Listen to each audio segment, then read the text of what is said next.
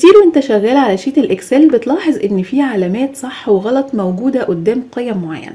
في الفيديو بتاعنا النهاردة هنتعلم مع بعض أسهل طريقة تقدر تظهر بيها علامات الغلط وعلامات الصح بناء على قيم معينة. يعني مثلا في المثال اللي قدامك ده دي عبارة عن أرقام لقيمة مبيعات. فهنا أنا عايزة أي مبيعات بتساوي 2000 أو أقل من الألفين يظهر قدامها علامة غلط. وأي مبيعات أعلى من الألفين يظهر قدامها علامة صح زي ما أنت شايف كده.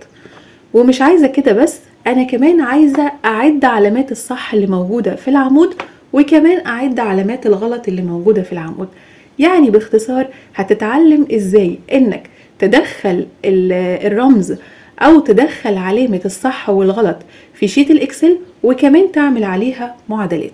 تعالوا نشوف مع بعض هننفذ ده إزاي بطريقة سهلة جدا على ال Excel بس يا ريت تدعم الفيديو ب like وتشارك الفيديو مع أصدقائك.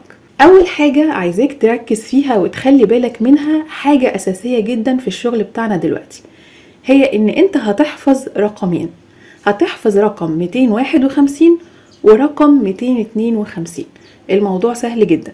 رقم 251 ده اللي هيوصلني لعلامة الغلط. رقم 252 هيوصلك لعلامة الصح. طب إزاي؟ تعالى كده نشوف على جنب كده نوضح الموضوع ده. لو جيت عملت يساوي وكتبت CH هتظهر معاك مجموعة من الدوال. الدالة الأولانية اللي ظهرت معاك دي دي بتدل على دالة ال character.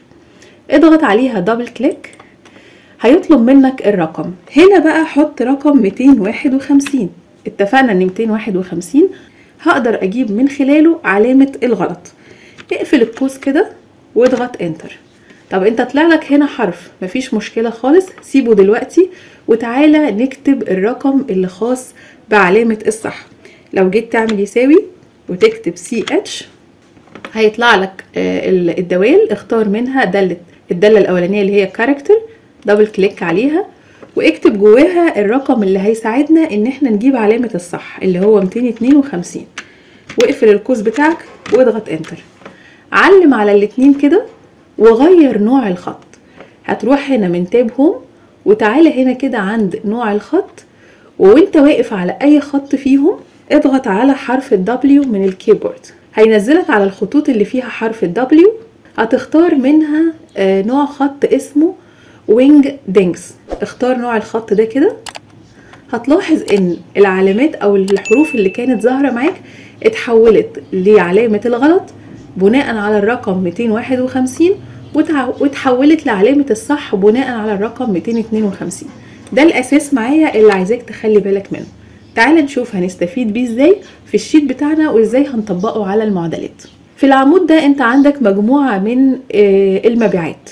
إحنا محتاجين إن لو المبيعات كانت بتساوي 2000 أو أقل يظهر قدامها علامة غلط. بتيجي هنا كده تكتب يساوي وبعدين بتكتب IF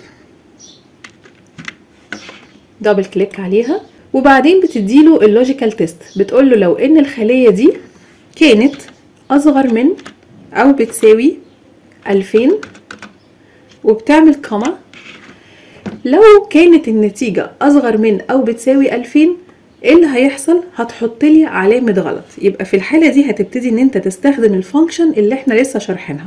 يبقى هتكتب ch وتختار character أنت هنا عايز يطلع لك علامة غلط. يبقى هيبقى 251 وتقفل القوس بتاعك. وبعدين تعمل comma طيب لو كانت النتيجة دي مش صحيحة يعني كان الرقم اللي موجود في الخلية دي مش أصغر من أو بيساوي الألفين كان أكبر من الألفين. يبقى في الحالة دي هنعمل character وهنحط الرقم اللي بيظهر لي علامة الصح اللي هو 252 ونقفل القوس ونقفل قوس الدالة الخاصة ب IF ونضغط enter بالفعل طلعت لك علامة الغلط اضغط double click هتطلع لك العلامات اللي موجودة قدامك دي قدام القيم اللي بتحقق الشرط لو كان 2000 أو أقل طلعت لك علامة غلط ولو كان أعلى من الألفين طلعت لك علامة صح. طب لو طلعت لك حروف زي المرة اللي فاتت يبقى أنت هتعلم عليهم كلهم كده وتيجي هنا تختار نوع الخط اللي هو Wingdings طيب دلوقتي لو انت عايز تعد علامات الصح أو علامات الغلط اللي موجودة في العمود هتعمل إيه؟ هتيجي هنا وهتكتب يساوي وهتعمل count. في عندك function اسمها count if هتضغط عليها double click هيقولك حدد لي ال range فهتختار ال range اللي فيه علامات الصح والغلط وبعدين هتعمل comma وبعدين هيطلب منك ال criteria أو المعيار. فالمعيار هنا انت عايز تعد إيه؟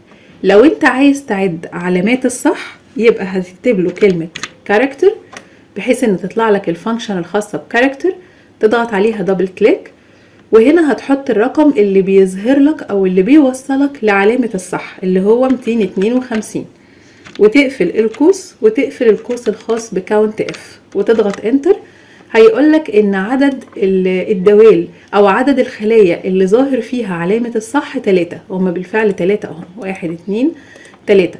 طب عايز تعد علامات الغلط؟ نفس النظام هتكتب يساوي وهتعمل count if تختار من هنا count if ال range بتاعك هو العمود اللي موجود فيه علامات الصح والغلط. هتعمل comma ال criteria هنا هي الخلايا اللي موجود فيها علامة الغلط يبقى هتحط character CH وتختار ال function الخاصة ب character double click والرقم هنا اللي بيجيب لك أو اللي بيوصلك لعلامة الغلط هو 251 اقفل القوس واقفل القوس الخاص ب count if واضغط enter هيطلع لك أربعة. بالفعل العلامات الغلط عندك موجودة في أربع خلايا. بكده بتكون قدرت بطريقة سهلة إنك تدخل ال symbol أو الرمز الخاص بعلامة الصح وعلامة الغلط وكمان تعمل عليه معادلات بإنك تعد كام علامة صح في العمود أو كام علامة غلط في العمود. لو عجبك الفيديو ياريت تدعمه ب like وتشرفني بالاشتراك في القناة لو أول مرة بتشوفني. بشكركم جدا على المتابعة وأشوفكم في فيديو جديد.